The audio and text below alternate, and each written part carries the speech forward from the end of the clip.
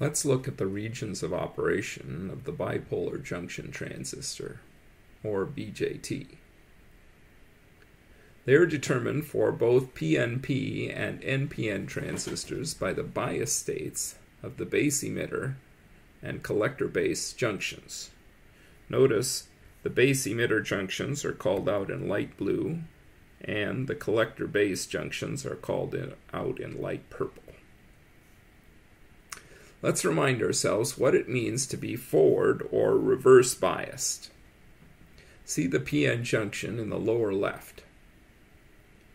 It is forward biased if the externally applied voltage leaves the P more positive than the N, and reverse biased if the opposite occurs.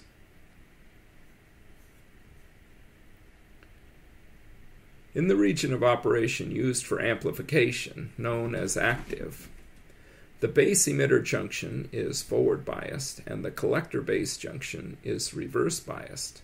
So minority carriers in the base, which came from the emitter, mostly flow on to the collector.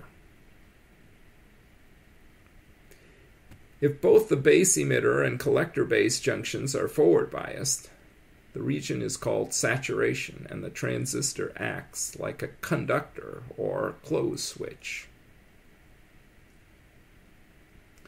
If both junctions are reverse biased, the region is called cutoff, and the transistor acts like an open circuit or open switch.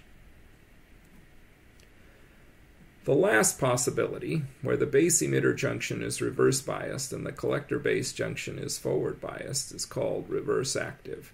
And the transistor behaves as if you switch the collector and emitter in the active region.